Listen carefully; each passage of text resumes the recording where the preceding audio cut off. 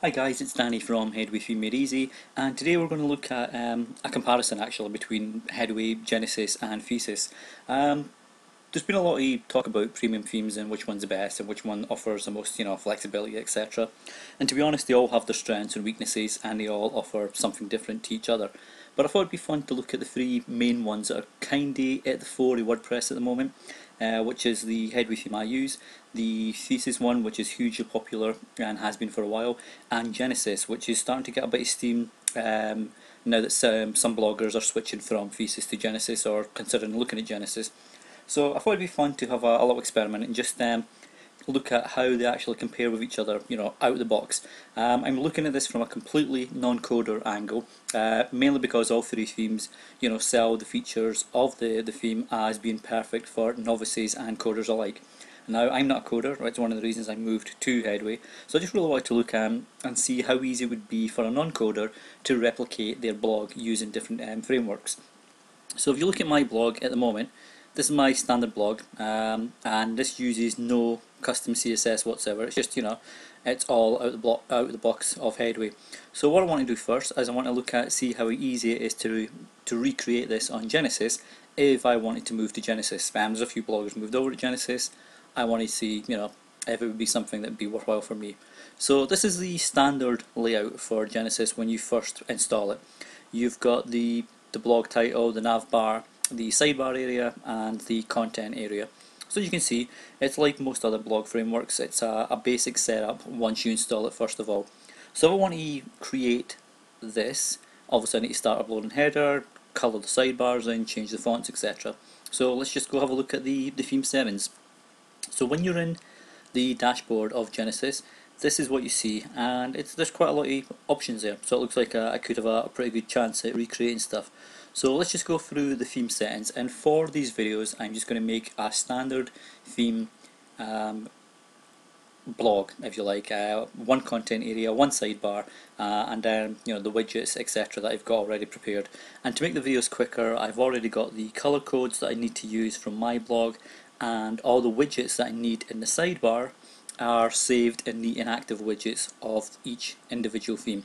So let's go back to the Genesis theme settings and let me see. Okay, so what do I want to use? Do I want to use a blog title or logo? Well, I want to use a logo, um, so let's go to image logo. Um, but there's nowhere for me to actually upload an image logo. So if I save the logo and just change that and refresh, um, it brings up the Genesis one. Uh, now I could go in and you know edit my uh, Photoshop settings that comes with the Genesis theme and upload them and that would allow me to have my header here.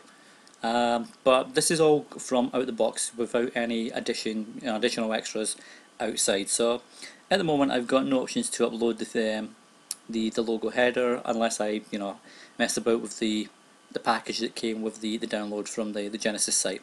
Um, so okay, fair enough, I can't, I can't change that. Um, do I want to include primary nav menu? Yes, I do. Um, what kind of setup do I want? Well, like I said, I've got content sidebar. Genesis gives you the choice of sidebar content, content sidebar sidebar, sidebar sidebar content, and sidebar content sidebar. So you can swap in and have either one sidebar or two sidebars. Choose between the left, the centre, or the right, or no sidebar whatsoever. So that seems pretty standard through all, um, all three themes that we're looking at. But I want to stick with the content and the sidebar. Um, so okay, so do I want need any of this stuff? Um, no, I don't need a, a, custom nav menu because I'm just looking at a, a, straightforward nav menu there. As you can see, there's there's some drop downs there, but I'm not going to bother with that uh, today. I just want to recreate the actual look and feel of my site. Um, so okay, so do I want to enable any extras on the right hand side? Um, I could go with a search form because as you see, I've got a search form in there. So let's put the the search form in the the nav bar.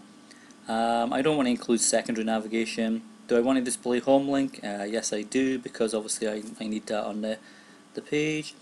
Um, enable comments. So I'm looking for um, the option to change my font and to change my sidebar um, settings and I can't see any there. There's there's none there.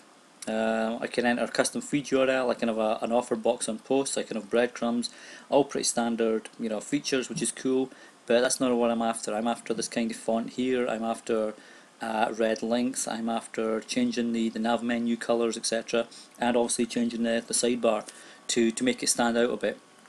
And unfortunately uh, none of that's there and the only other settings is your search engine optimization settings which you know I'm not looking to do at the moment I just want to change all, all these things um, so let's save settings and see what it looks like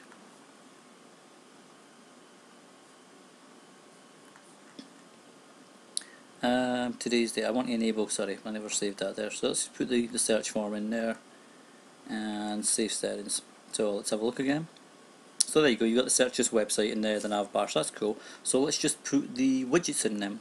Um, and as I said before, I've saved the sidebar widgets, which has got the primary and the secondary. I've saved the sidebar widgets here, so I can put them in fairly quickly. The cool thing with um, Genesis, it's got a little feature called e-news and updates, so it actually gives you a subscription box, you know, to put into your sidebar from the start, which is pretty cool. Uh, normally you have to say set a service up with FeedBurner, drop the code into a little text box and put that in instead, but not with Genesis. So that's a quite cool little feature. Um, put in searches blog, drag over connect. So as you can see, I'm just building the uh, the sidebar up to replicate what I've got on my DannyBrown.me sidebar. Um, put in the archives and put in the copyright.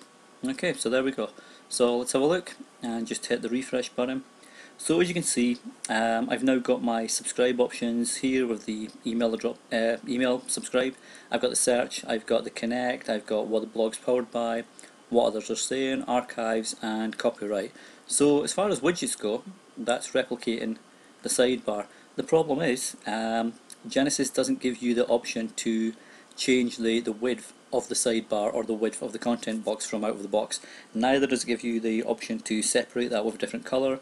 So because of that, um, everything's, you know, it's not really, you know, well laid out from a separation point of view. My search bar goes um, outside uh, the, sidebar because it's you know set a different width from what it should be. My connect um, social media icons they get squished as opposed to being like this. Um, so that's as far as I can take Genesis from out the box to replicate my site. There's no options to get little um, teasers down at the bottom here, which is these little boxes down here. Um, so the little teaser boxes here. Um, so, and I can't change the font size. The, the font's a fairly smallish font. I can't change the, the link size, so it's going to be the standard blue link.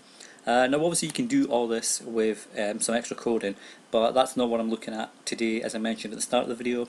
All three videos are going to be looked at replicating my site with no coding whatsoever. Um, so this is the, the Genesis look. Um, so a, out of the box for a novice to use, yep you can get a blog up and running but it's pretty basic, pretty standard and every blog would look the same unfortunately. Um, so that's the Genesis Prem 1.